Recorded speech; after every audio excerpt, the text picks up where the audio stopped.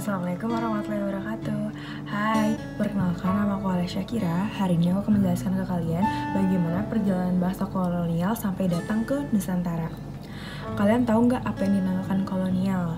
Kolonial atau yang biasa kita sebut dengan kolonialisme adalah suatu proses di mana suatu negara menguasai wilayah lain.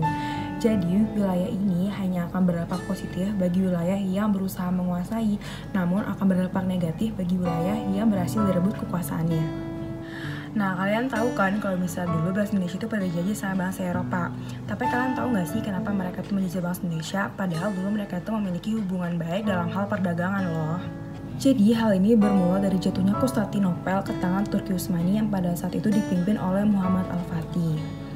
Turki Utsmani mengepung Konstantinopel selama 53 hari lamanya yang akhirnya Konstantinopel jatuh ke tangan Turki Utsmani pada tahun 29 Mei 1453. Jatuhnya Konstantinopel ini memberikan hal buruk kepada pengaruh bangsa Eropa. Jadinya bangsa Eropa yang tinggal di Konstantinopel ini uh, merasa bahwa ini adalah bencana bagi peradaban mereka. Akhirnya, para bangsa Eropa ini menghalalkan segala cara untuk menyelamatkan bangsa mereka. Salah satunya yaitu melakukan yang namanya perjalanan atau pelayaran samudra. Jadi, pelayaran ini dipelopori oleh bahasa Portugis karena bahasa Portugis itu salah satu bahasa yang sangat melarat pada saat itu karena dampak dari Konstantinopel. Nah, bahasa Portugis ini mengutus satu orang bernama Bartolomeu Dias untuk melakukan yang namanya pelayaran bersama timnya. Pada tahun 1415, Bartolomeu Dias dan tim ini menemukan namanya pelabuhan Ceuta yang diisi oleh para pedagang Arab tepatnya di India karena mereka udah merasa bahwa mereka sudah sampai di Asia, tepatnya rempah-rempah ini ada yang dibutuhkan. Akhirnya mereka balik lagi ke Portugis untuk menyampaikan apa aja sih yang mereka temui selama di pelayaran mereka itu. Di samping itu, kabar pelayaran samudranya si bangsa Portugis ini didengar oleh bangsa Spanyol yang akhirnya mereka juga ikut mengutus satu orang bernama Christopher Columbus untuk melakukan pelayaran samudra bersama timnya. Namun, uh, pelayaran samudra Christopher Columbus ini tidak selancar si uh, Bartolomeu Dias karena Christopher Columbus ternyata tersesat. Bukannya ke Nusantara si Christopher Columbus dan tim ini malah sampainya ke benua Amerika. Lebih tepatnya ke Pulau Bahama.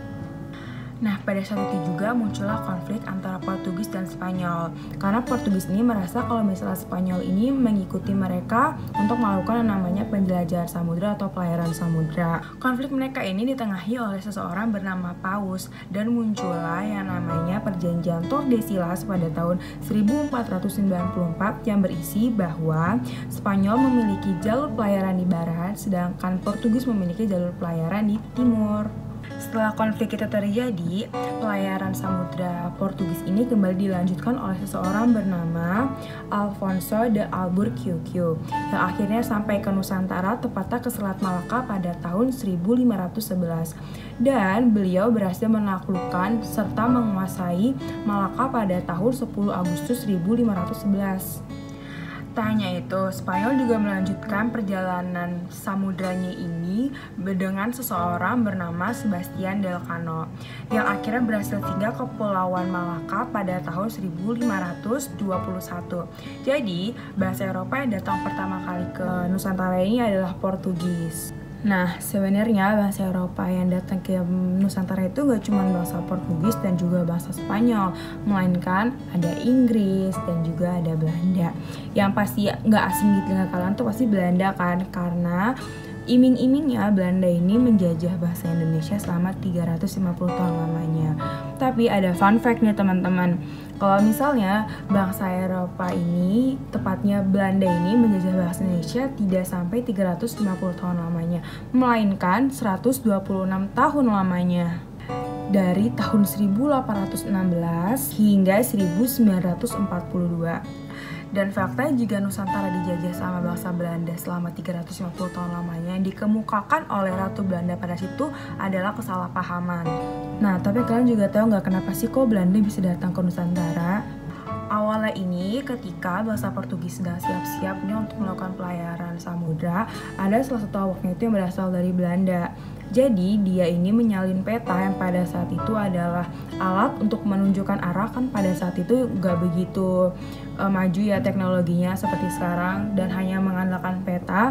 Jadi si awak Belanda ini menyalin peta ini dan mengirim ke negara dia sendiri yaitu Belanda. Karena hal itu, akhirnya Belanda memutuskan untuk mengutus satu orang bernama Cornelis de Houtman pada tahun 22 Juni 1596 untuk melakukan pelayaran samudra. Namun, setelah tidak lama sampai ke Nusantara, Cornelis de Houtman ini akhirnya gagal untuk masuk ke Nusantara karena tidak disambut oleh rakyat Nusantara sendiri karena sifatnya yang terlihat angkuh dan juga katanya nggak sopan. Akhirnya Cornelis de Houtman itu balik lagi ke Belanda dan pelayarannya dilanjutkan oleh Jacob van Eyck dan juga Wybren van Werwijk. Masa kejayaan Belanda ini itu pada tahun 1623 karena berhasil menguasai Maluku setelah membantu Maluku untuk melawan Portugis. Mulai dari situ pula, bangsa Belanda ini membentuk yang namanya perdagangan dagang atau yang biasa kita sebut VOC. Dari VOC inilah mereka mulai nih melakukan yang namanya uh, pemerintahan mereka sendiri yang kejam dan juga lama dengan pergantian pemimpin yang juga pastinya banyak dan yang paling penting adalah di VOC inilah para masyarakat Nusantara pada saat itu merasa terbebani akan siksaan yang telah diberikan oleh bangsa Eropa yang terutama Belanda pada saat itu. Nah, itu teman-teman cerita gimana perjalanan bangsa kolonial sampai ke Nusantara. Jadi ini semua bermula dari Konstantinopel yang jatuh ke tangan Turki Utsmani yang pada akhirnya bangsa Eropa ini mencari jalan untuk menyelamatkan bangsa mereka sendiri dengan melakukan yang namanya pelayaran samudra. Jadi kalau misalnya disimpulkan, negara yang paling lama menjajah itu yang pasti bangsa Belanda. Karena bangsa Belanda setelah melakukan yang namanya penyimpangan, mereka juga membentuk yang namanya VOC atau uh, persekutuan dagang yang mereka lakukan untuk menghakimi atau mereka juga melakukan namanya siksaan kepada masyarakat Nusantara pada saat itu.